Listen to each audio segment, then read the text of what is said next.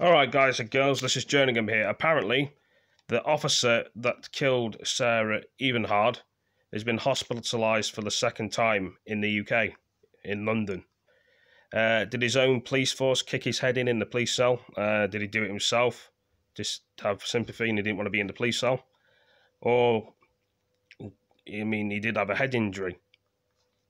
Well, who knows? Um, they're being quiet on that.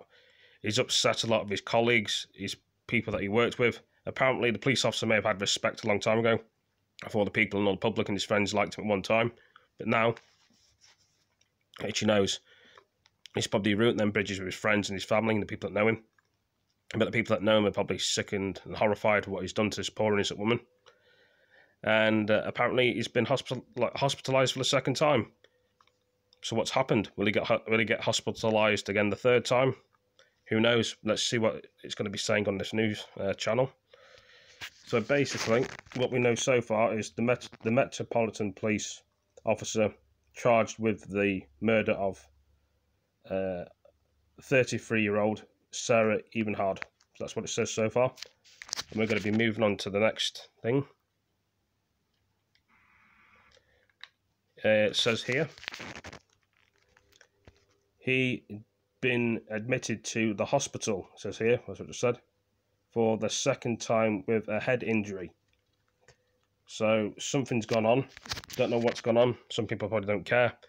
I mean, if you were in his shoes and he's made a right mess of things, and once you've done the damage, you can't turn the clock back. So he has admitted to hospitalised second time with a head injury. He said that again. It does say sometimes the same thing twice. I do apologise, but there we are. And it should talk about the, the police officer said serving the police constable Wayne Couzens, 48, was hospitalised for the second time on a Friday.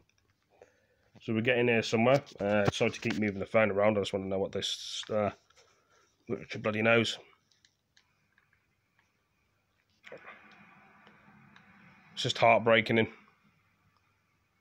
And the next thing we're going to be looking at too.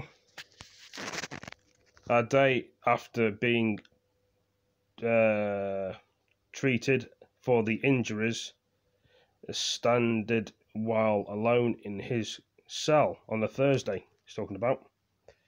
So he's in his cell on the first day of the officer.